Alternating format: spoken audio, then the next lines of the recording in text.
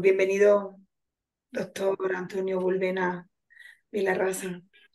Es una alegría tenerle con nosotros esta tarde.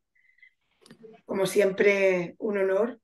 Eh, yo ya no, presento al doctor Bulbena, que también, pero, presento a, a, un amigo de ANSED, colaborador incansable, que allá por donde va su ilusión, su leitmotiv es hablar de, del síndrome de Lerdanos. Entonces, bueno, pues con eso que sepa que tiene esta comunidad de afectados más que, más que ganada. Eh, pero sí que voy a hacer una, una, presentación formal porque hoy nos acompañan personas que, que aún no le conocen y también me consta que hay personas del mundo de la salud que querían participar en este webinar y, escuchar las novedades que, tenemos.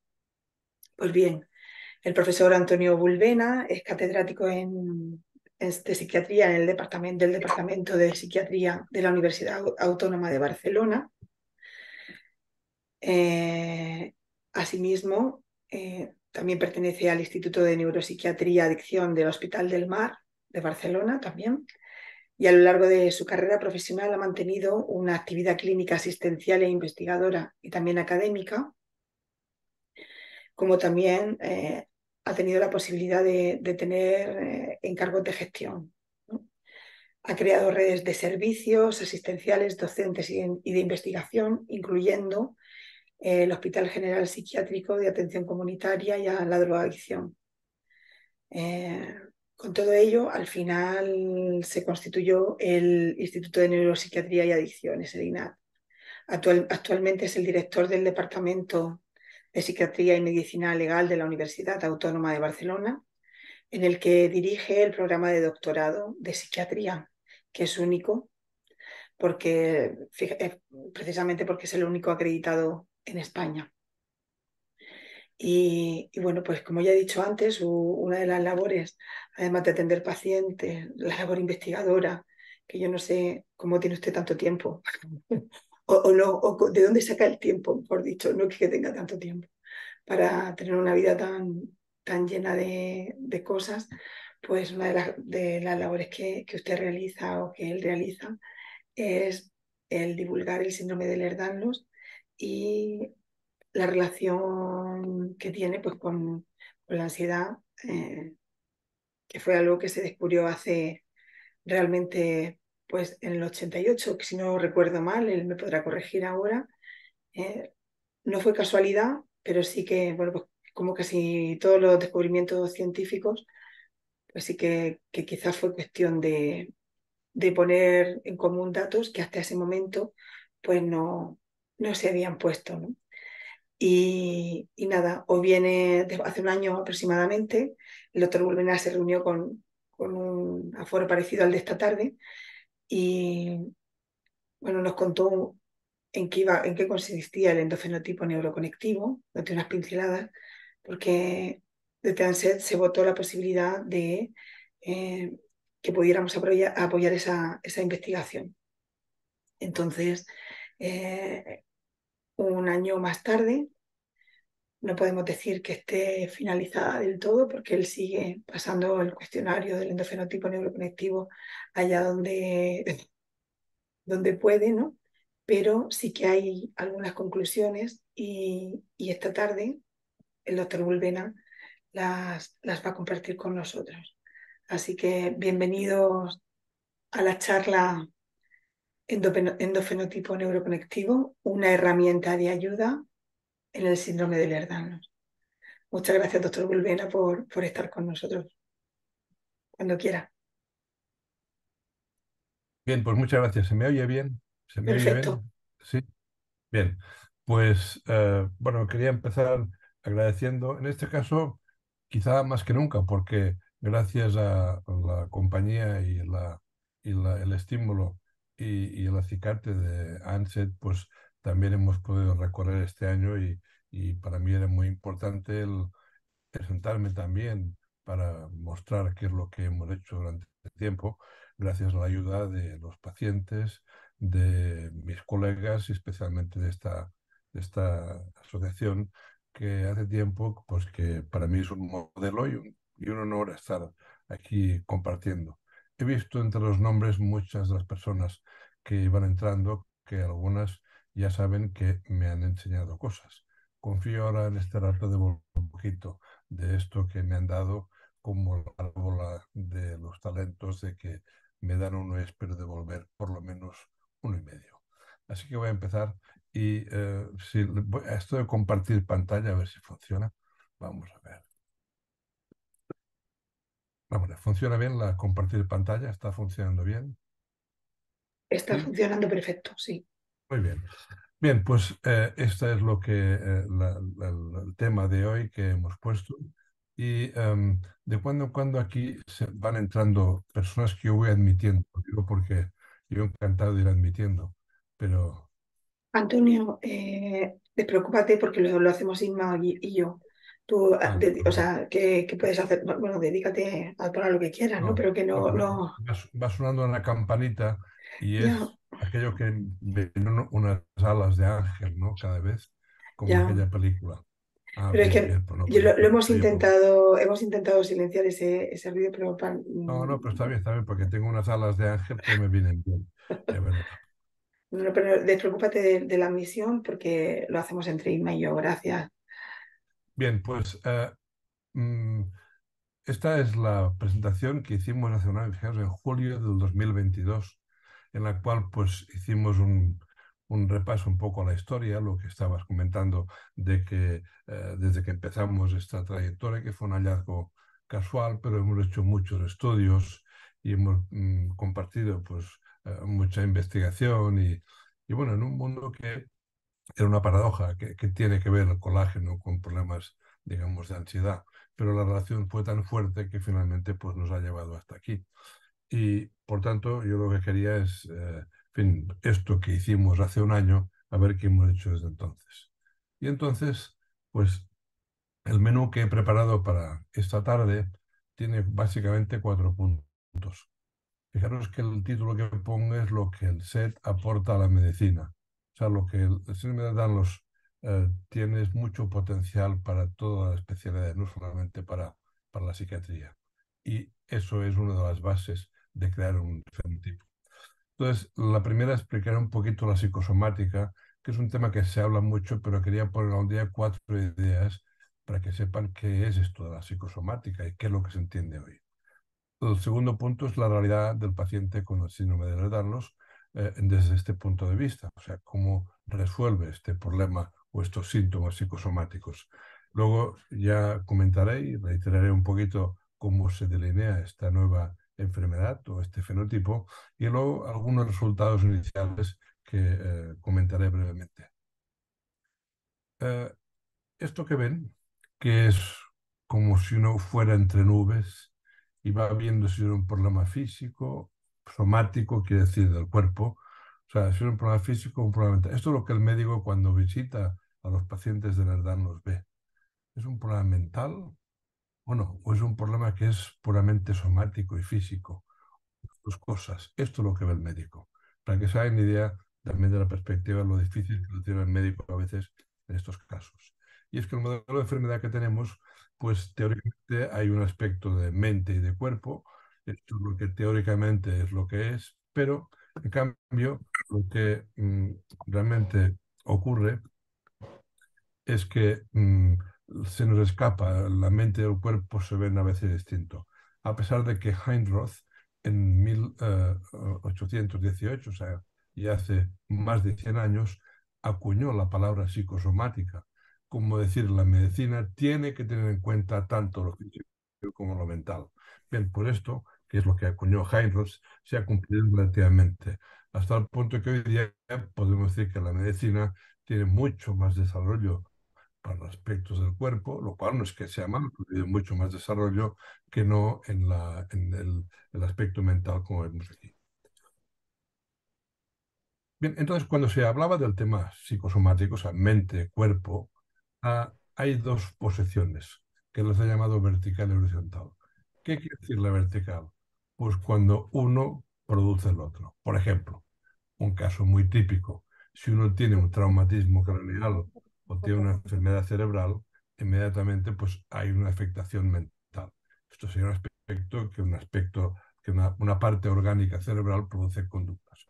Pero a la otra verticalidad a la cual quizás es lo que nos referimos más hoy, es lo que es la psicosomática, es decir, aspectos mentales que van a producir algún cambio en el cuerpo. Y esto es un aspecto que es lo que fue la clásica psicosomática que ahora veremos. Por tanto, una relación de causa, o sea, aspectos mentales que se traducen en problemas físicos. Este elemento, claro, la causa es la etapa reina.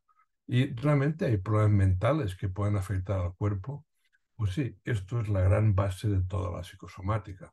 Y les pongo un ejemplo muy simple. Ayer en las elecciones estaban diciendo todo el rato, pues va a ser una final de infarto. ¿Quién va a ganar? ¿Quién, quién va a sacar más escaños? Bueno, va a ser un momento de infarto. ¿Y por qué se llama infarto?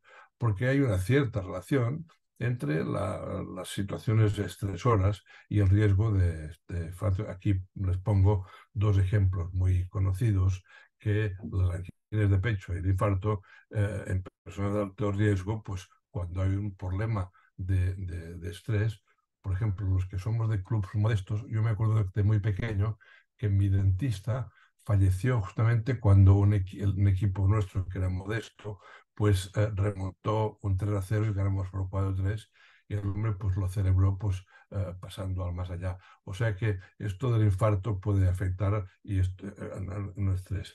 Aquí en Inglaterra, como ven, eh, cuando se eliminó a la selección en 1988, pues aumentó la cifra de infartos. Por tanto, sí era así.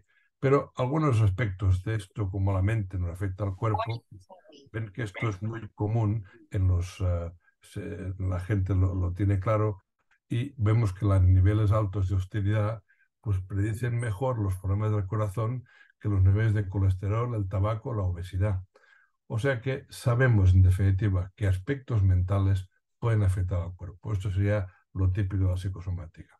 Pero la clásica psicosomática es la época de Freud, en la cual pues él describió que conflictos inconscientes de la sexualidad infantil podían llegar a producir enfermedades mentales y físicas. Fue el gran momento de que todo era un problema inconsciente, todo un problema psicológico en definitiva. Por ejemplo, aquí el, el eh, Alexander, que fue un, uno del eh, un americano, que describió que estas enfermedades eran psicosomáticas, o sea que la hipertensión, el hipertiroidismo, la artritis reumatoide, la úlcera péptica, el asma, la colitis, la neurodermatitis, todo esto venían por problemas mentales inconscientes. Naturalmente esto ha pasado de moda, pero ha quedado ha quedado hasta el punto de que hay mucha interpretación de que los problemas físicos vienen por problemas mentales. Y este detalle ha afectado mucho a los pacientes de Nerdalos, porque cuántas veces uh, los pacientes de Nerdalos han tenido que escucharse que la razón es mental. Pero esta etapa de la psicosomática ya pasó. Hoy día, en las clasificaciones modernas, sí que se entiende que hay factores psicológicos que pueden afectar pero es mucho más restrictivo y se usa realmente mucho menos. Pero antes le decía que esta relación de causa, o sea, un aspecto mental y incluso un aspecto físico, es una manera de ver las cosas, pero no nos sirve mucho para leerlos. ¿Por qué? Porque en realidad nos sirve más un modelo que sea horizontal, es decir, que puede haber problemas mentales y problemas físicos a la vez sin que sea uno causa del otro. Y esta capacidad de entender la medicina como que hay problemas mentales físicos y que los dos requieren una atención, esto es la base de la psicosomática. Por lo tanto, la moderna. No es suficiente con decir que uno es causa del otro, que por supuesto hay que mirarlo. Simplemente hay que tener los ojos abiertos para ver qué problemas tiene una persona y no atribuir antes de hora la causalidad mental especialmente que aquí hemos visto que hemos de saber mirar lo mental y lo físico. Muy bien. Si esto es así, pero no solamente como causa. Hay que tener la capacidad de mirar ambas cosas. Si esto no lo hacemos, si todo buscamos solamente causa, no podremos entender a los pacientes con herdarlos. hay que saber leer lo mental y lo físico y no negar ni uno ni lo otro, que tenemos ejemplos de ello. Porque realmente sigo esta editorial de una, de una revista de nuestro gremio, sea, no hay pacientes sin comorbilidad, o sea que todos los pacientes, en los cuales todos estamos, también el que les siempre hay más de un trastorno. Lo que pasa es que como el médico ve un trastorno y le gusta este, o el paciente sigue uno, pero hay que mirar muy bien que siempre hay más de uno. O sea que esta es nuestra misión, esta imagen de que aunque haya un trastorno, aunque haya un dolor, aunque haya una molestia, hay que tener la agilidad y estar abierto para poder ver qué más cosas hay. Y no siempre como un aspecto por ejemplo, en el caso que nos ocupa, yo he publicado trabajos al respecto y sabemos más o menos, esto es un estudio de estos enormes que tienen un valor relativo, pero en ese estudio publicado en la revista que tiene más impacto de toda la medicina, el New England Journal of Medicine, eh, estudian los trastornos mentales asociados a problemas médicos. Y claro, cuando se mira se encuentran cosas sorprendentes. Por ejemplo, ustedes que en cada enfermedad, en la esquizofrenia, en los trastornos neuróticos, se ve cuánta enfermedad hay. Y estos son, bueno, en el caso de las neurosis, pues como ven muchos problemas gastrointestinales. En los trastornos de alimentación, como ven, también muy alto. O sea que ya tenemos noticia de que los que tienen un problema mental también tienen problemas físicos. Eso es la medicina real, pero hemos de procurar que no perdamos la vista de eh, ver al paciente con toda su dimensión.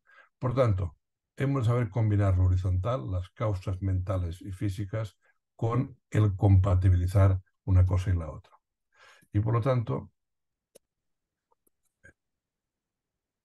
bien, ¿y esto cómo afecta al Ehlers-Danlos? Pues como vemos, el Ehlers-Danlos hay que saber mirar cuando tiene un problema de estrés, qué es lo que le afecta al cuerpo, que naturalmente no afecta como a todos, quizá le damos un poco más, pero también hay que ver que si son trastornos que coinciden, que lo miremos. Por tanto, todo abordaje del Ehlers-Danlos debe incluir tranquilamente mirar bien lo mental y mirar bien lo somático, que desgraciadamente esto no es más frecuente. Bien, aquí, ¿y, qué, qué, otras enfermedades tienen los que, pacientes con Ehlers-Danlos? Y esta es una de las, gráficas que son muy bonitas, pero a mí me ponen un poco triste, porque vemos el Ehlers-Danlos es un trastorno que afecta a todos los sistemas del cuerpo. Y aquí, pues lo muscular, el esquelético, el linfático, en fin, todo aquí. Bien. Entonces resulta que, cuando vemos aquí, resulta que se han olvidado de un aspecto fundamental, que es que los Ehlers-Danlos también tienen cerebro y tienen mente. Y esto ya llevo tiempo luchando por esto, que también hay que tener la capacidad de mirarlo y, lo mental, porque cuántas veces esto se oculta. Y esto, claro, eh, hoy mismo hablaba con un paciente que ha tenido una neoplasia grave y hace una carta en el periódico, es una periodista conocida, y habla pues que todos los que la han tratado, los oncólogos, los rehabilitadores, los cirujanos, pero los psiquiatras que hemos estado con ella todo el día no lo citan cuesta a veces a los pacientes y a los médicos citar el aspecto mental. Pero no se preocupen, que para eso estamos nosotros. Bien, ¿qué problemas tiene en esta línea los pacientes con Ehlers-Danlos? Pues aquí vemos algo que es muy importante, que es que entre la carga que tienen los pacientes con hiperlaxitud, es que muchos síntomas son subjetivos, es decir, que no se ven, que cuando van al médico dicen, bueno, tengo dolores, tengo mareos, tengo fatiga, tengo problemas digestivos, esto no se ve. Y claro, al no verse, ¿qué ocurre? Pues que muchas veces, digamos, la, la, la contundencia de un diagnóstico o la claridad, pues no es cómoda ni para el paciente ni para el médico. Pero estos síntomas no pocas veces han sido mal interpretados. Y uno de nuestros peores enemigos es un gran amigo, que es ese trastorno más moderno que se llama de síntomas somáticos. Son quejas físicas que no se encuentran en una causa orgánica. ¿Y cuáles son estos? Pues los mismos de antes, palpitaciones, dolor, dolor de cabeza, fatiga y mareos. Por tanto, tienen este diagnóstico que demasiadas veces se está usando en los pacientes con el que se les dice esto, pero no se les mira si tienen el Aquí algunas de frases que ya lo puse en la otra presentación, pero simplemente para recordar lo que los pacientes con la nos escuchan, que todo está en su cabeza, que no hay nada normal, que se preocupa usted mucho, que usted busca llamar la atención o que es poco o alégrese que no hay nada normal. Claro, cuando un paciente está mal y le dices que los análisis están bien, pues es una situación un poquito incómoda. Por lo tanto, muchas veces se escucha este comentario negativo y esto refleja esta limitación que eh, hemos de ir poco a poco, eh, digamos, cambiando y yo estoy feliz de ver que podemos colaborar al respecto. Pero fíjense, recuerdan que les decía que a veces se usa la psicosomática como causa, un problema mental. Por esto que les han dicho, muchos de los pacientes, digamos, recibieron el que, la, digamos, el diagnóstico de que estaba producido por síntomas psicológicos, lo cual es realmente uno de los desastres que muchas veces ocurre, porque deja mal al médico, deja mal al paciente y no sirve para mucho. Eso a veces cuando los médicos hacemos este diagnóstico es que nos estamos tirando sin paracaídas, porque no hay base para esto. Y esto hemos de ser muy pulcros en esta atribución. Primero porque a nadie le gusta y segundo porque es una intimidad muy delicada, no se puede dar como una explicación simple. Y eso es uno de los problemas que tenemos. Y además, y para acabar esta parte, fíjense que todas las especialidades tenemos estos síntomas que se llaman funcionales, o sea, que, que no tienen mucha base. Y en cada especialidad, pues en traumatología el dolor lumbar, el dolor pélvico o el premenstrual. En el otorrino, pues son los, los, los, los acúfenos o los tinnitus. En neurología, los mareos, cefalalgias. En cardiología, estos dolores de pecho. En el caso de los neumólogos, pues la falta de aire. En la odontología, el, el temporomandibular son, estos son los trastornos, aquí ven el colon irritable. Bien, pues todo esto es lo que en definitiva configura pues los, lo que se llama síntomas no explicados médicamente. Pero ahora que los han visto, no les da un poquito el recuerdo de que muchos de estos son precisamente los que ocurren en heredarlos. Bien, por lo tanto, este es el problema que tenemos y que hemos de resolver. Y además, como postre, Fíjense que la demora diagnóstica en el Ehlers-Danlos es una media de 14 años, en el 25% más de 28 años. Un diagnóstico erróneo se dio en el 56% de los pacientes y, como ven, para muchos de ellos resultó un aspecto devastador. Por tanto, hemos de hacer algo. Y después de muchos años trabajando al respecto, pues nos ha parecido que teníamos que procurar juntar toda esta información para proveer una herramienta que, como digo, no solamente para el herdarnos o para la psiquiatría, es para la medicina en general, porque es un modelo de enfermedad que tiene mucho que ver. Y esa es, en definitiva, lo que intenta este fenotipo, es lo que hemos arbitrado. Una, un modelo que a la vez mire aspectos del cuerpo, o sea, somáticos y mentales. Después también que estemos eh, incluyendo aspectos negativos y positivos, que pocas veces se hace, siempre estamos mirando lo negativo. Luego también que sea algo que eh, a la vez que el profesional configura este, este modelo, que también esté hecho por pacientes. Y luego que sirva para atender al paciente, a la familia, pero también para investigar.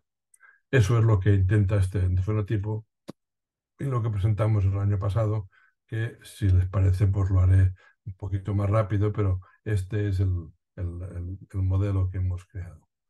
Esto que se, ha habido los primeros indicios, lo hemos publicado en algún libro, básicamente que es hay un núcleo básico de la hiperlaxitud y ansiedad, pero que tiene estos cinco ejes.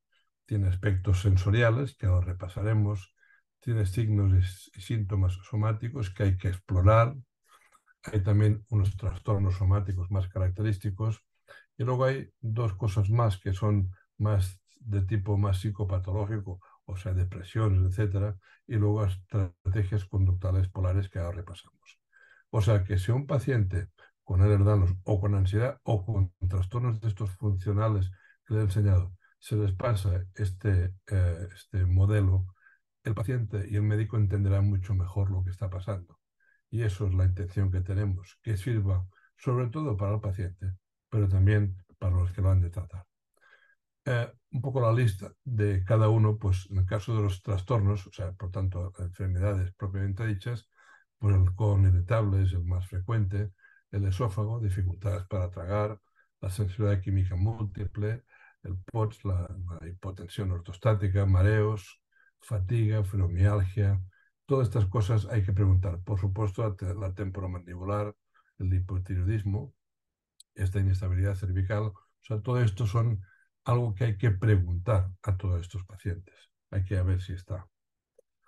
En el caso de ya no enfermedades, sino síntomas, síntomas y signos, por aquí vemos el somatotipo, son más, más largos, generalmente hay más eh, somatotipo asténico, este esclerótica más azul, este facilidad para tener moratones, especialmente en mujeres, las cicatrices, como ven en este dibujo, un poquito más hipertróficas o abiertas, la disautonomía, la discinesia esofágica para tragar, esta distensión abdominal después de comer que uno siente una pesadez eh, muy grande, incluso a veces dolorosa, la dispareunia, o sea, dificultades en la relación sexual, por supuesto, esguinces y dislocaciones que muchas veces el paciente ni, ni relaciona con otras cosas.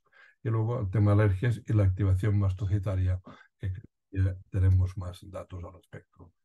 Y este es un punto que es relativamente novedoso, pero que es crucial, que es la enorme sensibilidad que tienen eh, muchos pacientes que tienen eh, mm, tanto alertarnos como ansiedad. Y esto nosotros hemos hecho bastantes estudios. En el caso del, del olfato, encontramos que las personas con, con ansiedad y con hiperlaxitud tienen un olfato mucho más desarrollado. Y nadie les pregunta. Claro, a veces es un olfato que incluso a veces molesta, ¿no? Pero en fin, todas estas cosas, sensibilidad más a los ruidos, eh, el, el, movimiento de un bolígrafo, el, el, masticar al lado, hay mucha susceptibilidad a muchos tipos de ruidos que para otros ni son notables. Suspiros, disnea, también estas palpitaciones, porque en definitiva, ¿qué quiere decir? Que notan más el cuerpo, el cuerpo les habla mucho más. Y cuando el cuerpo habla, no siempre habla para aspectos de placer, más bien al revés. Uno nota algún ruido o algún dolor o alguna sensación que incomoda. Y eso el paciente lo vive desde pequeño. Por lo tanto, son personas más sensibles.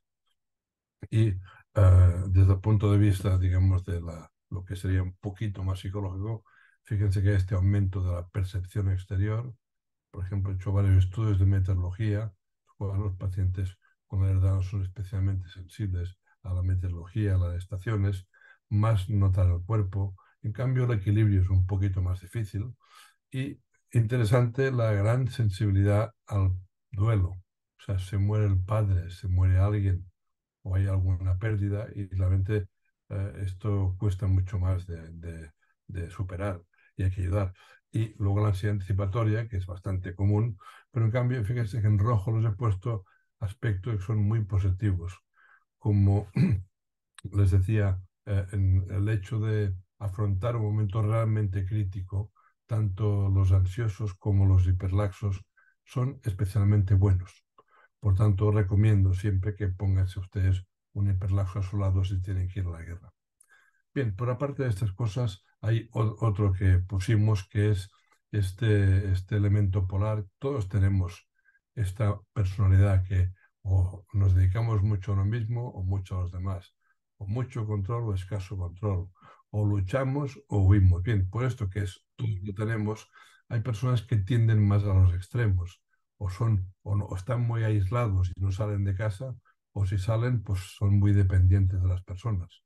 Bien, pues estos ejes son los que hemos también incluido en el fenotipo neuroconectivo y curiosamente ha dado resultados muy curiosos. O sea, todo el mundo estamos ahí, pero algunos son un poquito más cerca de los extremos.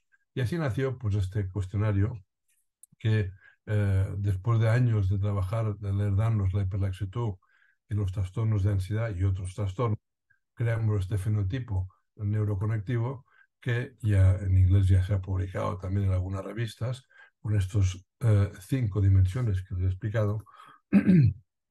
y pues esto ha dado lugar al cuestionario que ya el año pasado les presenté y que ahora les daré algunos resultados. y que esto sería pues la primera página que vamos a hacer. La primera pregunta, bueno, fíjense que es el olfato sensible, los ruidos, persona sensible, o sea, aspectos que tienen que ver con esta especial sensibilidad. Este cuestionario comprende una parte que la propia persona puede rellenar, eh, por eso se puede hacer online, que hay una sensibilidad, el capítulo 1, luego unos signos corporales que simplemente se preguntan, incluyendo el dolor, por cierto.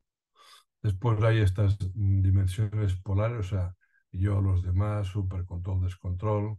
Y finalmente hay estas preguntas que son características de sensaciones que tienen que ver pues, con, a veces con aspectos positivos y negativos. Eso la propia persona lo puede rellenar. En cambio, lo que es la exploración de la hiperlaxitud, el diagnóstico de enfermedades físicas y el diagnóstico psiquiátrico, hay una pauta para que se puedan mirar. Pero insisto, esta parte es fundamental. No vale con saber de una cosa o de la otra. Es exigible que la persona reciba la exploración de ambas cosas. Y eso es lo que publicamos después de muchos esfuerzos. Este artículo que validamos esto, publicado en Frontiers, en mayo del 23, tuvimos, sabe usted, cuando se publica un artículo, esto es bastante, bastante laborioso, aparte de que ahora cobran un dineral por eso.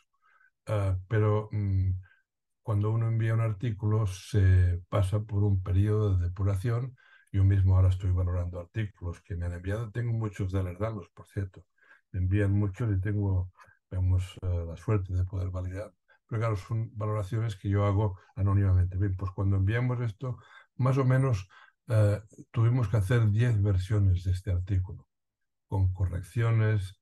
Luego otras personas, pues los, los revisores te piden que cambies cosas, que añadas otras. Y eso, cada artículo lo digo porque no crean que esto es fácil de publicar. Esto nos llevó básicamente unos ocho meses ser publicado y diez versiones. Pero finalmente lo publicamos y esto pues es también gracias a la contribución que ustedes me ayudaron. ¿Qué es lo que se publica? Bueno, se publica lo que es la fiabilidad, que son aspectos técnicos. Por ejemplo, si yo paso un cuestionario hoy o lo paso de aquí a una semana, da lo mismo. Bien, por esto lo que se llama la fiabilidad test-retest de las cinco dimensiones, pues se ve que el, cuestionario es, da buenos resultados, o sea que aguanta bien el paso del tiempo. Pero ya como resultados que también publicamos en ese artículo, ¿qué hicimos? Pues comparar los, eh, los pacientes con hiperlaxitud respecto a los que no tienen hiperlaxitud. ¿Y cómo funciona este cuestionario? Pues aquí vemos que eh, en la sensibilidad sensorial, los síntomas corporales, las características psicológicas y las estrategias polares, en todos ellos, los pacientes con hiperlaxitud puntuaron más que los que no tenían hiperlaxitud. Por lo tanto, esto que no es extrañar porque, como muchos de los presentes saben, este cuestionario fue elaborado con íntima colaboración, incluso hay preguntas que son textuales de lo que algunos de ustedes me han dicho. O sea que mm, esto está hecho muy a medida y por eso también era mi principio de gratitud, porque muchas de las preguntas las sabe más el paciente que el médico. Y eso es lo que yo creo que es muy importante destacar un día como hoy. Ya saben que yo siempre digo que el paciente es el que sabe, el médico es el que estudia. Y eso lo mantengo y en este caso pues es realmente muy bueno ver esto como ha salido así. Aquí son, mm, probablemente para señalarlo, las puntuaciones de la laxitud, no es lo que como se, mira, pero la sensibilidad sensorial, los aspectos psicológicos, las estrategias polares y los signos físicos, como ven, todos tienen mucha relación con la puntuación de la. Hay algunos trabajos y este es uno de ellos que justamente he tenido oportunidad de hablar con, con el José Antonio Consentino, que pronto pues ya va a ser doctor, confío, y así lo ayudaremos. Y muchos de ustedes ya lo conocen porque él ha hecho ese trabajo realmente excelente sobre varios aspectos del heredarnos y además ha ido viajando por toda España y me consta que en un buen día también dará una presentación de su test, de su trabajo de fin de grado y solamente eh, le he comentado que hoy pondría algunos de los aspectos porque él ya explicará.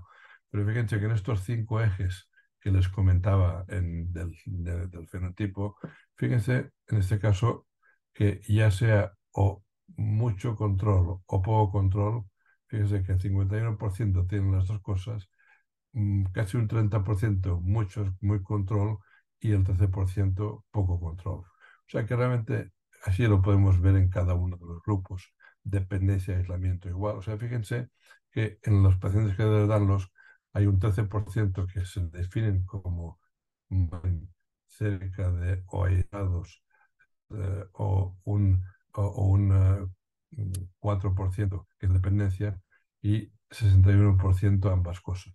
O sea que efectivamente el neurocognitivo nos descifra aspectos que pueden ser útiles para ayudar a las personas, porque así pueden superar estas tendencias que nadie les pregunta por esas y también las puntuaciones de la sensibilidad son bastante altas, también los signos corporales y también de características y.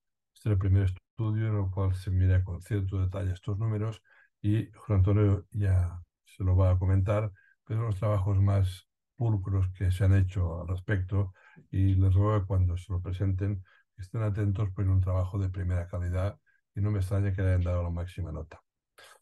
Otro estudio que justamente me llegó hace pocos días es un trabajo europeo sobre el intestino irritable, lo cual han hecho, pues eh, han mirado unos, casi unos 100 casos eh, y han mirado eh, en, en, este grupo de colon irritable cómo funciona el fenotipo neurocognitivo. Y aquí vemos el grupo, hemos eliminado unos que no eran claros, pero estos son los de colon irritable, estos son controles sanos y estos son alguien que tiene algún trastorno como control. Pero vamos a ver qué les pasa a los, a los pacientes con, eh, con colon irritable. Fíjense que los del medio son los de colon irritable. Fíjense que la sensibilidad sensorial es más alta. Eh, naturalmente los que tienen problemas mentales o físicos tienen más, pero la posición superior a los controles no son sanos. O sea, los pacientes con colon irritable tienen más sensibilidad. También comparar los signos corporales también tienen más que los que son controles sanos. Ah, el dolor también, fíjense que comparado con los sanos tienen más, probablemente menos que los que tienen problemas mentales. Y también las características y sensaciones también puntúan más. Son datos que los calculé la semana pasada, quería presentárselos hoy. Y finalmente, la laxitud. Pues fíjense que en este caso, los que tienen un problema mental o físico, en este caso eran más mentales, pues la puntuación de laxitud es parecida a los de colon irritable, pero mucho más que en los controles sanos. Y esto con los criterios de, de varios, estos criterios de Byton pasa lo mismo, y aún más claro con esta escala autoaplicada que los pacientes llevaron. O sea que, por lo tanto, en este estudio europeo que ya se está mirando la hiperlaxitud, se confirma que la, las cinco bloques del neuroconectivo sirven para mirar, pues eh, para distinguir y para identificar cosas que los pacientes cuando lo pasaban les pareció pues muy interesante porque nadie le había preguntado al respecto. Este otro trabajo de fin de grado que dirigimos hace unos años eran un grupo numeroso de pacientes con eh, trastornos funcionales, que no solamente es colon irritable, también el estreñimiento, también es disfagia, o sea, un grupo de unos 100 casos, y pasando neuroconectivo vimos que efectivamente eran más sensibles, vemos que también tenían estas características de personalidad distintas, más signos corporales, también en tendencias de comportamientos tenían más puntuaciones más extremas que los controles, y finalmente más hiperlaxitud. Por tanto, en los pacientes con uh, trastornos digestivos funcionales, eso también uh, el neuroconectivo nos aclara que además de la hiperlaxitud, que como ven sale, también las otras dimensiones es importante notar. No todo es la hiperlaxitud, sino que hay otros aspectos que son muy importantes de detectar. Finalmente es un estudio que estamos haciendo y que esperamos publicar pronto sobre estos casos tan maltratados que son antes llamados histéricos, pacientes que tienen como desmayos, que tiemblan o que tienen ataques un poco raros, que rápidamente son considerados histéricos y por tanto maltratados. Estas son planchas de Charcot, del el que estudió más la histeria. Fíjense ustedes, en este caso, esta es una plancha original de Charcot. Fíjense la hiperlaxitud que tiene esta chica. Y esto también era otra plancha de Charcot que, fíjense la hiperextensión y en este caso la, la, hiperextensión de, de, columna. Claro, esto mm, no sabían que era la hiperlaxitud, pero fíjense que eran pacientes claramente afectadas. Pues bien, incluso cuando describen esto, hay una muy buena descripción que hacen en cada caso, pero por ejemplo, dice, a veces los dolores de espalda, dice, cambian sobre todo en momentos de temperatura. No hay rigidez ni, eh, ni, ni, crujidos. Pero, dice, la articulación de la, de la muñeca parece que tiene una movilidad lateral mucho mayor que la del estado fisiológico. Fíjense aquí. O sea que en estos casos de Charcot ya había evidencia de que tenía este problema, pero no le dieron ninguna importancia entonces. Nosotros decimos aquí, ven, aquí tenemos otro caso también de Charcot, y miramos un buen grupo que muchos de ustedes colaboraron, les agradecí mucho, y estas son las cinco dimensiones de del neurocognitivo. Por tanto, las estrategias conductuales polares, los trastornos físicos, las características de sensaciones, lo sensorial y los signos somáticos. Y como ven en todos ellos, que son en color rosa, son significativamente más intensos en los casos de estos trastornos, digamos, uh, funcionales neurológicos, que ahora se llaman así, antes eran histéricos, y por tanto muchos de estos son pacientes que están sufriendo su Ehlers-Danlos escondido, porque como ven, en el grupo de trastorno neurológico funcional, casi el 80% cumplían criterios de hiperlaxitud con las tres escalas. Miramos otras cosas, pero en definitiva, mucho cuidado con los pacientes que a veces se llaman histéricos, que suele ser un mal diagnóstico, porque la prevalencia de les danos oculto en esos casos es enorme. Y eso es algo que es un punto de batalla que yo tengo muy activo y que no pocas veces pues, me ha creado algún disgusto. Bien, uh, esto es por lo tanto lo que es el modelo neuroconectivo y los datos. Tengo, ah, tenemos un estudio también en Colombia, en un psiquiátrico, tenemos otro estudio con espondilitis anquilopoética, tenemos varios, pero no quería cansarles con muchos datos, solamente este recorrido que son los que yo creo que es importante. ¿Y qué es lo importante? Que tenemos un modelo que recoge obligatoriamente, o digamos amablemente, aspectos corporales y mentales a la vez, sin exigir que uno sea causa del otro. Naturalmente hay que mirarlo, pero hay que mirarlo con la misma capacidad. No puede ser que miremos cada uno y, y que uno sea culpa del otro. Segundo, un modelo que incluye aspectos negativos y positivos. Yo tengo la suerte de, hacer mucha práctica clínica y les puedo asegurar que incluso maestros míos de primera calidad cumplen criterios de alertarlos y cumplen criterios del neuroconectivo. Personas muy brillantes. Y tenemos pendiente, pues, a ver, hacer un estudio especialmente de las personas que tienen pues, altas capacidades, porque muchos de ellos cumplen criterios. Después, este modelo incluye algo que el profesional ha escrito, pero sobre todo que la persona y la familia, muchas de las preguntas y de las cuestiones incluidas han sido obra de los pacientes. Y espero que esto nos sirva tanto para ver a los pacientes como para investigación. Y recuerden lo que Sopo decía, que toda verdad tiene dos lados y que es bueno mirar a, a los dos antes de quedarnos con cualquier otro. Esto también vale la pena porque hoy día nuestra sociedad está un poquito polarizada en varios aspectos y por lo tanto la calma de quedarse contemplando las dos antes de abalanzarse en un lado vale para muchas cosas, incluso para la política. Bien, por lo tanto, con esto lo que he hecho es darles un instrumento para que podamos usar, pero no solamente para la medicina, para, la psiquiatría, para la medicina. Y así, pues espero que salga la luz y salga el sol en este mundo de la medicina clínica, especialmente para los pacientes que tienen pues, muchos trastornos a veces ocultos. Y por lo tanto, con esto, eh, después de haber aprendido tanto y ofrecido tanto, les quiero dar especialmente las gracias, no solamente por su atención en el día de hoy, sino por su generosidad siempre, porque también este trabajo ha sido pues, eh, apoyado por la, asociación y que reitero pues, mi, eh, mi gratitud y desde luego mi compromiso para seguir ayudando porque hemos aprendido mucho juntos.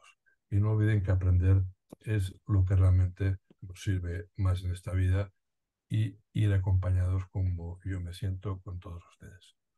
Y ahora les ofrezco, pues si quieren ustedes hacer preguntas, como decíamos, pues con mucho gusto las contestaré. Y aquí tienen pues un refresco veraniego en forma interrogante, pero siempre como una oferta para estar, digamos, juntos aprendiendo y enseñando. Muchas gracias. Madre mía, doctora Volvena, qué maravilla, qué maravilla. Eh, si les parece, puede dejar de compartir y así se le ve eh, en primera plana. Ahora puso compartido, ¿qué te quiere decir? Que, deje, deje, deje, de compartir. Aunque esté siempre de compartir. Esto tiene que ver. Dejar de compartir. Ahí está, ahí está. Pues muchísimas gracias. Eh, bueno, una presentación como siempre extraordinaria, así que es de verdad un verdadero honor y un verdadero placer que decida acompañarnos en cualquier, en cualquier camino. Lo que sí que debido al número alto de participantes que tenemos en, en la reunión, eh, les hemos pedido a las, a las socias que ya, ya, pueden ponerse las cámaras si ustedes lo desean. Eh, pero les hemos pedido que hagan las preguntas por, por escrito, porque ah. realmente eh, así podemos hacer preguntas más concretas y, a usted tenemos más oportunidad de, que usted responda. Eh, vamos a empezar con la, con la primera pregunta. Ana Lucía Navarro nos pregunta o le pregunta que cómo hace para sensibilizar a su psiquiatra. Pues em, bien, en esto yo quiero ayudar y si todo va bien, pues eh, en fin, espero hacer pronto un curso especial para psiquiatras y eh, yo he dado a conocer ya este modelo, que el modelo no es que sea un invento mío, es algo que eh, es una manera de, gracias a lo que hemos aprendido con los pacientes de verdad, los, y que es muy importante que la psiquiatría vaya entendiendo esto. Porque fíjense, el tema de la laxitud no es solamente un tema de la ansiedad, los que tienen hiperactividad a la mitad tienen eh, criterios de darlos. Los casos de trastorno de alimentación pueden llegar hasta el 60%. Los borderline, que aún no tenemos los datos, pero estamos trabajando en ello, también. O sea que más vale que los psiquiatras vayamos aprendiendo. Y en todo caso, para sensibilizarles, les puedo hablar de que conocen ese trabajo y que yo con mucho gusto les enviaré los artículos. Desde luego en el libro que publiqué al respecto está bastante explicado, pero les puedo dar, por supuesto, mi, mi referencia y yo con mucho gusto se explicaré. Muchísimas gracias. Eh, Esther, espera que se me va hacia arriba. Esther Villalbos nos, le pregunta que en relación a las altas capacidades podría ser una línea a explorar la alta comorbilidad con el espectro autista y Asperger especialmente es que precisamente la, hay enfermedades que justamente incluso la opinión pública dice, tiene un Asperger y por lo tanto ya se sabe que es inteligente. Eh, es un tópico que circula. Lamentablemente no siempre es así, pero esto ya circula. Yo me he propuesto que los de Lerdanos también cuando se diagnostique, también se sepa que son más capaces. Y eso es algo que quiero demostrar, pero espero que con estudios ulteriores lo pueda hacer porque realmente creo que es así. La capacidad de afrontamiento que muchos de ustedes me han enseñado, me han descubierto muchas cosas. Y por lo tanto, mi, aparte de que hay mucha comorbilidad, tanto con Asperger como con espectro autista, pero es que muchos de los pacientes con edad tienen altas capacidades. ¿Pero cuáles? Eso es lo que hemos de mirar. Desde luego, capacidades de afrontar cosas, sin duda. Pero ¿cómo se mide? En eso estamos pues no tengan duda de que hay aspectos muy favorables y no sé el por qué, pero sí sé que esto era así porque me lo han enseñado ustedes. Gracias. Muchas gracias por. Valentina dice que muchas gracias por la presentación y pregunta que cómo influye el gran número de personas con neurodiversidad, autismo, ADHD, que sabemos tienen el Ehlers en el fenotipo conectivo. De hecho, lo estamos trabajando y si todo va bien, pues tanto con los de hiperactividad como los de eh, los del aspecto autista, los especialistas ya he hablado con ellos y claro, es cuestión de que se pongan a investigarlo. Cuesta mucho en medicina salir del paradigma. O sea, una cosa, digamos, que es de que enlaza varios campos es difícil, pero por lo menos tanto los del aspecto autista como, y desde luego en Italia ya están trabajando en el caso de la epilepsitud y, el autismo. O sea que hay grupos internacionales trabajando al respecto. Pero en el mundo del Ehlers-Danlos, en, en el mundo de la psiquiatría, hay dos líneas. La de ansiedad, y esto es la línea que yo he ido abriendo, pero hay un grupo muy importante inglés que trabaja en la neurodiversidad. La idea es que pudieran también mirar todas estas cosas. Yo les he ofrecido también a los ingleses y a los italianos que puedan trabajar al respecto. Pero depende de que la quieran usar. Gracias, Laura. Y Harron dice que, que, muchísimas gracias. Jamás he visto a un doctor que pueda sintetizar tan bien la mayoría de mis problemas físicos y mentales. Me gustaría saber si podría contactar con usted por privado, ya que por mi perfil académico me encantaría saber si podría llegar a trabajar en su equipo en algún momento. Como paciente investigadora, creo que podría aportar mucho también a ANSET. Gracias. Pues sí, bienvenida, porque es un momento en el cual nos conviene mucho que haya investigación. Cuesta mucho conseguir ayudas de investigación, por eso hoy es para mí un día importante, porque la asociación es la la que me ha ayudado más en este último año y estoy muy agradecido. Pero sí, esto es perfectamente posible. Ya de hecho estamos trabajando con algunas personas que están haciendo tesis y son profesionales al respecto y pues con mucho gusto pues se pongas en contacto conmigo uh, y tienen el, email es, es abulvena.gmail.com que es fácil y me pueden escribir y uh, con mucho gusto pues podemos empezar a hacer cosas. Y ten en cuenta que aún dirijo el doctorado, tengo 100 alumnos de doctorado y por tanto sí que tengo, vamos, por lo menos muchas ideas y muchas ganas. Cuente conmigo, Laura, por favor. El doctor Bulmera tiene una característica que es que siempre da la mano. ¿eh? Y bueno, pues una vez más, eso se demuestra. María del Rosario Palomé, que Vilche dice que es, es posible que los síntomas de ansiedad sean resultado de hiperactividad simpático por aferencias molestas que llegan al sistema límbico.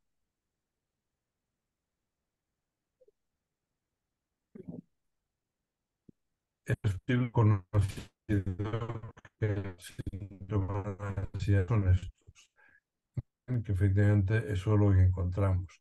Y eso precisamente en los pacientes grafo, pero realmente, pues claro, la madre está mucho más atenta para siempre. Y esa atención, pues es una de las virtudes que hace que, si me permiten una opinión personal, creo que, este, que la mujer tenga esta eh, tarea como madre que ocupa tanto, tanto de su cerebro, eh, debe un cerebro más, digamos, competente que el de los hombres que no tenemos esta parte. Lo que pasa es que a veces puede secuestrar este sufrimiento. lo que me preocupa es que esta enorme capacidad de anticipación y de y de, y de cuidado a veces secuestra a la persona y la madre no se da cuenta y está feliz con eso, pero esto es así.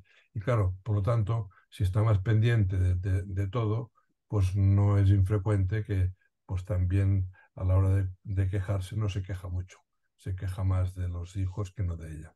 Pero sesgo de género es bastante probable y en eso también hemos de combatirlo.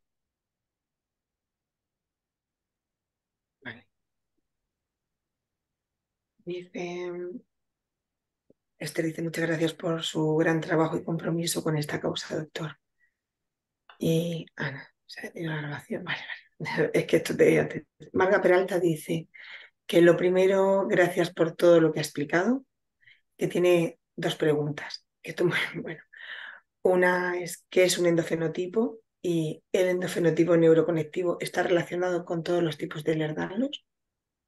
Sí, el endofenotipo, se, el, la palabra fenotipo viene de la, la biología y, y, se ha usado en plantas, o sea, que sea como el aspecto externo, o sea, la configuración anatómica que tienes. un, nacemos con un genotipo, que es la cara genética, y el fenotipo es lo que en el contacto con el ambiente se desarrolla. Entonces, claro, se llama endofenotipo cuando eh, no solamente es elemento externo, sino que hay un aspecto que es genético y hereditario. es una forma de, de, declarar que hay aspectos que son de genéticos y por lo tanto vienen ya, que es lo que ocurre en el de Derdanos, como saben, pero también hay aspectos de tipo externo que lo construyen. Por tanto, si lo llamo endofenotipo es para que los médicos sepan que no solamente un fenotipo reactivo, no es que tengan ansiedad porque están nerviosos, sino que genéticamente tienen ya una serie de características.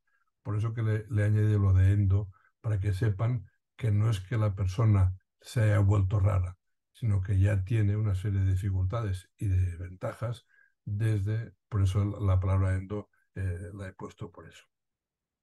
Y entonces, respecto a los tipos de herdanos, bueno, yo creo que sí, lo que pasa es que no está estudiado. Y ahora, justamente esto que les comentaba, que estoy repasando artículos, tengo uno que está comparando mm, muestras muy, muy grandes del de el espectro de la hipermovilidad con el antiguo de la clasificación, la hipermóvil, hay muy pocas diferencias y lo que estamos viendo es que por lo menos en el hipermóvil en el espectro de la hipermovilidad, la, yo creo que es donde más se va a encontrar el, el, endofenotipo. También tengo algunos vasculares, pero tenemos muy pocos y por lo tanto no lo puedo decir. Mi impresión es que sí, pero no tenemos datos al respecto. Ahora, el hipermóvil, o sea, el más frecuente, sin duda, sí que esto a todos los, lo saben ustedes que el hipermóvil o el espectro son mucho más frecuentes que los demás. Bien, pues estos, en estos seguro que el endofenotipo neurocognitivo es muy presente. Gracias. Perdón, y lo digo porque yo lo he aprendido con ellos. O sea, que no, o sea, yo lo que les explico es lo que he aprendido con los pacientes. O sea, no es que no tenga imaginación, pero aquí he sido muy leal. Muy leal. Gracias. Dice Valentina que si los síntomas mentales como la ansiedad precisan de un tratamiento diferente en el caso de, del Ehlers-Danlos. Pues, eh, de hecho, como tratamiento no, pero sí como comprensión. No es lo mismo tratar a un niño por ansiedad que tratar a un niño con ansiedad y Ehlers-Danlos. ¿Por qué? Porque se sabe, y por eso quiero potenciar este conocimiento, que son niños más sensibles, que tienen una reactividad distinta, que pueden tener problemas físicos reales y no imaginados, que tienen una, una problemática en la piel y en las vísceras distintas y que por lo tanto se entiende mejor su enfermedad. Porque, fíjense, el atribuir todo a un problema mental, como lo he explicado, tiene sus riesgos.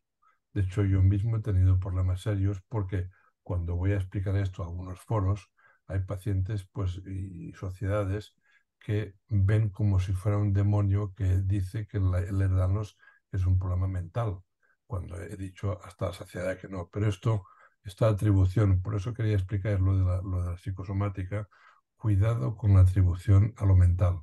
Yo jamás lo he aceptado y estoy seguro, o sea, sé lo que es el psicoanálisis, pero hay que ser muy cuidadoso con esto. Por lo tanto, un niño con herdarlos, si está bien tratado, resulta que eh, mm, si encima se sabe que tiene un cuerpo distinto, seguro que va a ser más respetado. Y el paciente va a aprenderlo, que es lo más importante. Bien. Dice, entiendo que, esta pregunta quiere decir, dice que la relación entre maltrato infantil y resultados con en niños con el ERDAN, los hipermóvil, que le interesan los estudios, si hay algún estudio. Entiendo que, quiere, le quiere preguntar que si usted conoce que haya estudios sobre esto.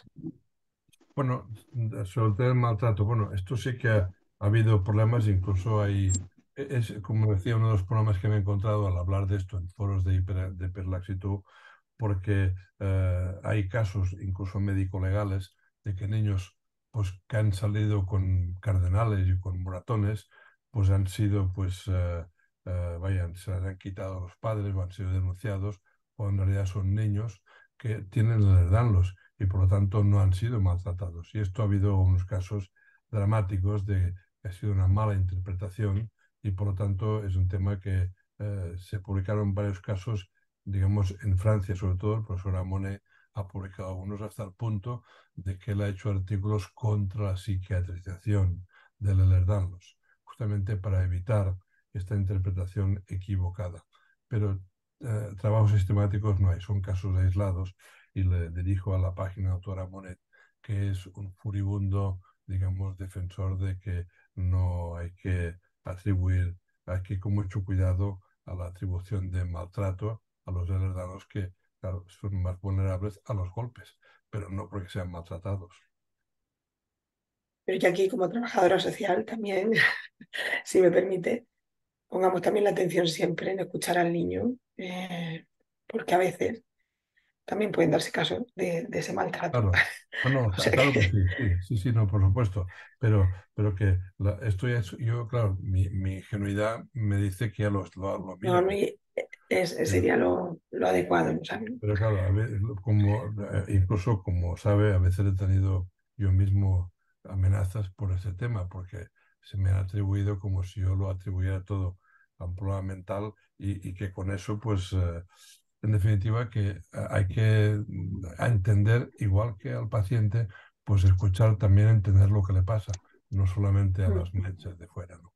Pero bueno, esto es, hay que hacerlo y, y es un ejemplo bueno que dice nuestra presidenta de que hay que mirar lo mental y lo físico a la persona y a la familia. Y eso es lo que hay que saber mirar. Eso es lo que el modelo neuroconectivo ofrece. O sea que me lo pone usted muy bien, presidenta. Bueno, seguimos. Dice que Joan pregunta, bueno, o dice, muchas gracias por su aportación, doctor. La hiperalgesia es uno de los problemas más limitantes. El cerebro parece que se cortocircuite de dolor a lo largo de semanas y meses. Es tan recurrente, quizás según la fase de la enfermedad. ¿La única forma de afrontarlo es con medicación? ¿O hay otros modos desde ese paradigma mente-cuerpo de afrontarlo? Muchas gracias. Pues uh, sí, la, medicación sin duda es lo que, lo que en casos graves hay que saber utilizar y, ahora mismo tengo unos cuantos casos, quizá algunos están conectados con el problema del fentanilo y hasta qué punto hay tolerancia. O sea que es un tema que la medicación sigue siendo importante pero también tengo uno de mis colaboradores que está haciendo estos trabajos de, de, técnicas de grupo para afrontar el dolor crónico con resultados sorprendentes. Es decir, curiosamente, la psicosomática aquí nos ayuda. Intervenciones mentales también ayudan a problemas físicos. Antes lo decíamos como al principio, pero sin duda la conexión mental-física nos da muchas puertas abiertas. Y por lo tanto, eh, si manejamos bien el cuerpo, seguro en la mente, seguro que el cuerpo nos va, a funcionar. Y para el dolor crónico, que realmente es complicado, pues no es solamente un tema de medicación, aunque en algunos casos esto es inevitable. Por lo tanto, usemos las dos cosas. Bien, muchas gracias. Pregunta Esther Villalbos, que por el hecho de la mayor sensibilidad puede derivar en mayor vulnerabilidad, vulnerabilidad al abuso. Bueno, Esther, es, una pregunta interesante porque son dos cosas distintas. La mayor sensibilidad lo que puede dar es que uno pues detecta más y sufre más o percibe más una serie de cosas. Lo que pasa es que el tema del abuso ya es eh, algo que depende del otro y por lo tanto no es lo mismo. Una, sensibilidad propia, pues claro, puede hacer pues que uno tenga pues un mayor riesgo de sufrir cosas. Lo que pasa es que en el caso del abuso, en el caso de que lo haya, el impacto seguramente es mayor. Y eso es lo que hay que vigilar, porque, eh, vamos, por lo que yo he podido estudiar, si hay un abuso o hay un trauma, que es, hay personas que son extremadamente sensibles. Y sin duda, las personas con los y los niños lo son. Nosotros hicimos un estudio cuando el terremoto de Nepal que miramos mil y pico de niños, y aquellos que tenían hiperlaxitud tenían un estrés postraumático mayor. O sea que lo que les ruego que tengan en cuenta es que la mayor, en los casos con heredarlos probablemente tienen mayor riesgo de tener un impacto más grande, precisamente por esta sensibilidad. Por eso hay que cuidarlos mucho más. De los pacientes en cuanto a las pérdidas, pero también en cuanto a los traumas. O sea que sí que les ruego que cuando vean un niño que tiene esto, que traten de hacer la mejor educación, la mejor compañía. Todos tenemos traumas, pero tienen más riesgo de tener, digamos, más efecto. Carlos Vicente dice que buenas tardes a todos y que pregunta si hay algún modo de diferenciar las taquicardias provocadas por la ansiedad, por, por ejemplo, las que pueden darse por una infección o algún tipo de intolerancia ortostática. Pues bueno, realmente siempre que se mira una taquicardia, nuestra obligación como médico es mirar todo aquello que lo puede producir, desde el problema del ritmo cardíaco hasta la ingesta de algunas sustancias. O sea, hay que mirar siempre, en todo caso. Y cuando estos se, se, descartan, pues problemas cardíacos o problemas de tipo sistémico, es cuando sabemos que la ansiedad. Claro, aparte de esto, en el momento, una cosa muy importante es la historia clínica. Si uno tiene una historia clínica que ha tenido ataques de ansiedad o es hiperlaxo, sabemos que la probabilidad de que sea este tipo de ansiedad, digamos, de tipo um, ligada al Ehlers-Danlos, pues está, muy, está más claro. No solamente la exploración en el momento, hay que hacer bien la historia clínica. Y, mm, por lo tanto, y también cómo se ha mejorado. Si la taquicardia es simplemente el corazón batiente, no es lo mismo de que a la vez tiene impresión de que se va a morir. O sea que hay signos clínicos que te pueden permitir distinguir una cosa y la otra, y eso hay que ser el médico que sepa distinguirlo. El médico la enfermera. Ten en cuenta que tenemos enfermeras muy bien entrenadas que esto lo hacen de una forma impecable. Por tanto, afortunadamente no, no solo depende del médico. También quiero reivindicar un poco el papel de enfermería. Gracias. Pues pensaba que, que terminábamos, pero no. O sea, cuando ya veo que es el último, hay más preguntas. Eh, Audrey pregunta o dice que lo que se acaba de explicar es apasionante y muy sanador. Gracias. Me gustaría preguntar si existen estudios realizados o en curso que busquen explicar las asociaciones que se han encontrado en el modelo neuroconectivo. Me refiero a otras especialidades de medicina y otras ciencias. Sí, tenemos, uh, esto es lo que me gustaría hacer y por lo tanto les invito a que me, nos ayuden a hacer esto, porque les decía al principio, lo que estoy explicando es lo que yo he aprendido con los años con este curioso síndrome y con todos ustedes, y que en el título del artículo, fíjese que pongo la contribución de Lerdanlos a la medicina. El artículo que publiqué, le he enseñado, lo publiqué en una revista de medicina. ¿Por qué?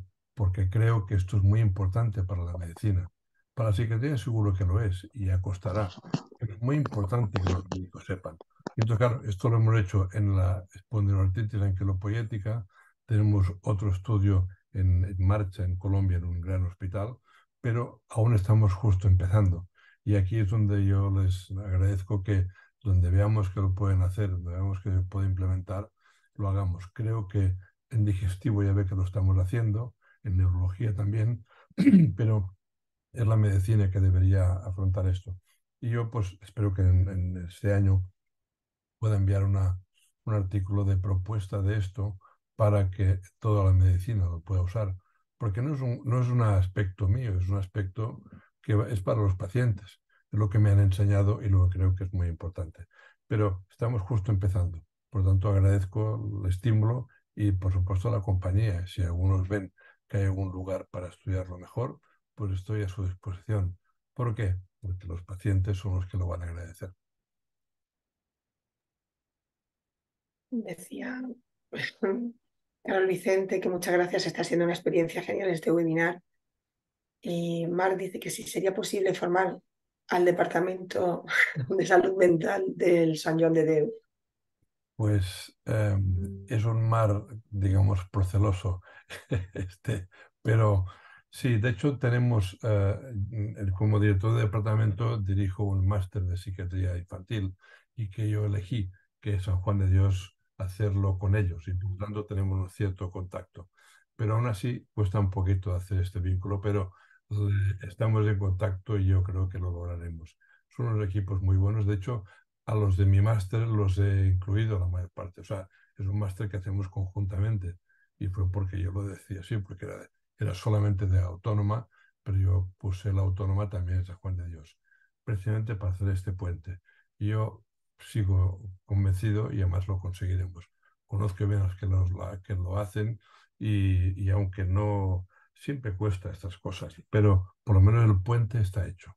Hará falta que lo transitemos. O sea que la respuesta breve es sí, porque estoy dispuesto a aprender y a enseñar con ellos.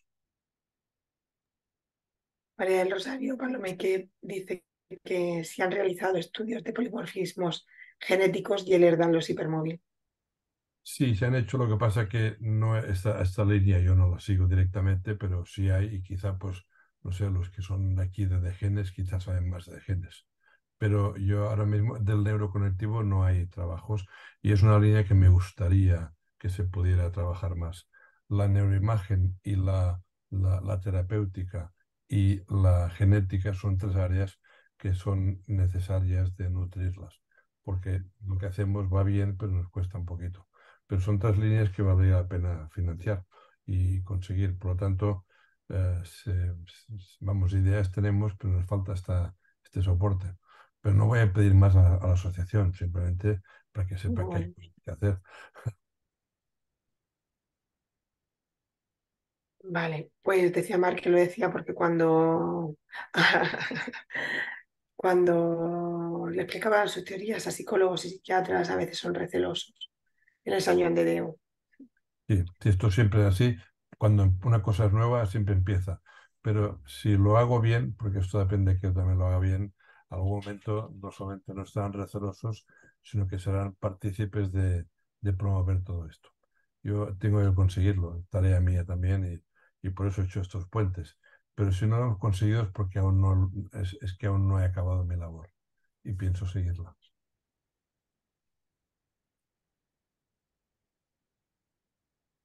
Así medio en broma, Capé dice que sí puede hacer de conejillo de indias. Pues, eh, eh. pues encantado porque es que lo que he presentado... Cumplimos todas estas características. Son síntomas añadidos para... Ahora, ahora, es que salen dos pantallas. La presidenta tiene dos pantallas. Ahora una. Pues no sé por qué. No, pero, pero se, queda usted muy bien en las dos, no se preocupe. Ahora, ya... ya... estoy, ya estoy normal. no sé, es que estoy en el, en, el campo y aquí, pues bueno, el mundo rural no tiene la misma cobertura que, que en la ciudad, así que disculpen. Eh, decía que había una de sus pacientes que decía que, que si podía hacer de conejillo de indias, medio en broma. Y Ana pregunta o dice que si cumplimos todas estas características, son síntomas añadidos para que nos puedan diagnosticar de verdad los hipermóvil que no hay genética disponible y con la clínica a veces no se deciden a poner el diagnóstico en la historia. Sí, esto es el problema. Incluso mm, alguna vez habíamos hablado de, que el otro día lo pensé, porque una paciente en urgencias eh, realmente tuvo un cuadro de estos neurológicos complejos, con vómitos, y realmente casi la castigan. O sea que quizá una cosa que deberíamos hacer, y se me ocurrió también, que lo habíamos hablado alguna vez con, con ustedes, pero es que la persona con el Danos tenga como una especie de carnet, que sea un informe, digamos, que elaboramos nosotros para que la persona que vaya a un hospital tenga también esto, como un documento. Y a mí me parece que esto que lo hablamos en un momento, habría que hacerlo porque de cuando en cuando ves pacientes maltratados y no es que los médicos sean malos, quizás que no lo conocen y en urgencias la cosa a veces es poco sofisticada. Pero me parece que sería una idea el que eh, ponerlo, que la persona lo tenga, digamos, incluido. Yo, como saben mis pacientes, a todos ellos les pongo en la historia oficial que tiene este síndrome. Y por tanto, cualquier sitio que van, esto está ahí. Pero quizá habría que hacer como una especie de carnet o un documento. Lo digo para la presidenta, que si se anima, pues... Sí, sí, el, el documento está. ¿eh? De hecho, fue una propuesta que hicieron los amigos de, de Conectiva, se llaman además, de, el problema es que, eh, bueno, pues el llevar el, carnet no te exime de la poca empatía que tenga la persona que tienes enfrente. Bueno, pero con el carnet, y, eh, quizá lo digo porque habría que ah, ponerlo un poquito más en marcha, porque algunos de mis pacientes realmente puede hacer un informe, que por cierto hago más informes que el capital bueno, pero, ah, pero me refiero que tener un documento les pueda servir es muy importante. O sea, que, que tengan algo más. Por lo que dice Ana, esto de que el diagnóstico, hombre, que lo sepan. Y ya sabéis que en algún caso tengo que hablar con neurólogos que dicen, no hay para tanto. Hombre, sí que hay para tanto. Y eso, bueno, ya saben que siempre salgo al quite y siempre me a su lado para comentar con mis colegas. Pero claro, eh, aún así a veces cuesta un poquito. Pero habría que reforzar ese aspecto documental, lo del carnet o alguna forma, pero, pero para, para ponerlo en marcha, ¿no? Pues tomamos nota de, de, eh, bueno, pues creo que hasta aquí hemos llegado y además perfecto porque habíamos pensado hasta y media como mucho y, son y 32, o sea que nos hemos retrasado solo dos, dos minutillos. Doctor Bulbena, ¿qué le puedo decir? Que mil millones de gracias, mil millones de gracias que de Anset le, eh, le queremos muchísimo por esta compañía que nos hace, por este apoyo y, por la valentía que tiene también de, iniciar muchas veces cosas que, que, hasta ahora nadie ha recorrido y caminos nuevos que, que usted está explorando y que, y que realmente pues son difíciles. Mil gracias, mil gracias y ya sabe que aquí tiene su casa y que aquí va a ser siempre más que bienvenido. Pues nada, muchas gracias a ustedes y recuerden que si alguna me quiere escribir a alguien, pues ya saben dónde estoy y yo feliz de colaborar y si alguien quiere trabajar conmigo y hacer investigación, pues perfecto. Lo primero es hacer de médico y casi enseguida investigación, pero ya saben que primero hay que hacer bien de médico y después investigar, nunca al revés.